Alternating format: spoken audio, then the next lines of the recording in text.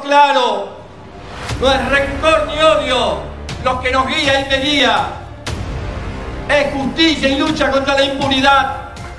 Aprendí a recordar con demanda de memoria, de justicia y de verdad. Y que en esta Argentina se vuelva a recordar y a recuperar y a tomar como ejemplo aquellos que son capaces de dar todo por los valores que tienen. Y hubo una generación en la Argentina que fue capaz de hacer eso. Y a los que hicieron este tenebroso y macabro, tienen un solo nombre. Son asesinos repudiados por el pueblo argentino.